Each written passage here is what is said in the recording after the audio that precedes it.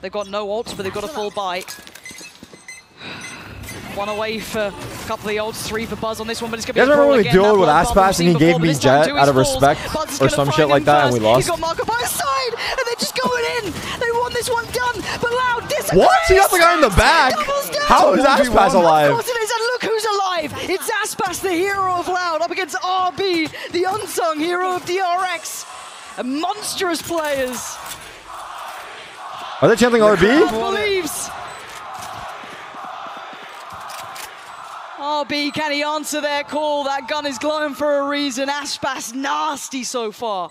I got 50k on Aspas. Closer.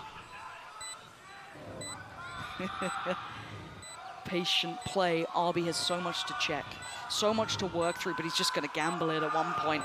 Full HP. He's on He's free!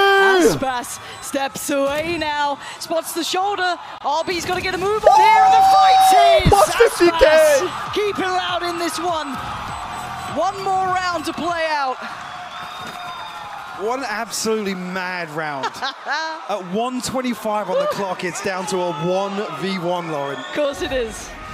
Absolutely ridiculous. Oh, stats. Which historically, I, I, I That gotta was say, crazy. You don't often see uh, uh, Straight up brawl, 4v4. DRX commit to these sort of rounds. No. it's it's very rare. Felt like they were enticed into it, like, yeah, you know, take that ball, take it, close it now. Thank you.